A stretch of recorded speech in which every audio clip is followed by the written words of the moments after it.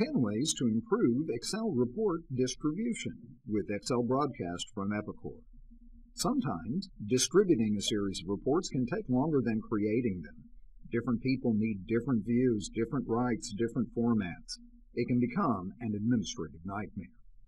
XL Broadcast is a powerful solution to the problem of getting the right reports into the hands of the right people at the right time.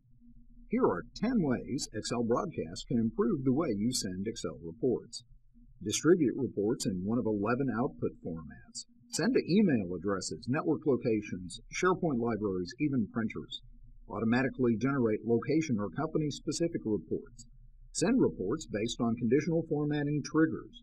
Notice what happens when the selection changes in the supporting worksheet.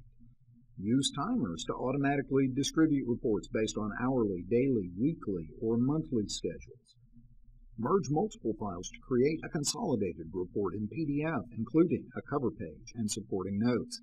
Define which sheets go to which people and let XL Broadcast delete the rest. Password protect different sheets for different recipients or truly hide a sheet containing sensitive list parameters. Send from your Outlook client or directly from a mail server and do all of these things at the same time, right within the context of a single Microsoft Excel worksheet. Let's see what XL Broadcast accomplished in 27 seconds. Eight items processed, including six emails and a 13-page HTML package. The cover and comments were merged into the PDF to Chicago. The CEO needs a password to even open the attachment. The CFO got the income alert in XPS format and the HTML files should make the web and mobile folks happier.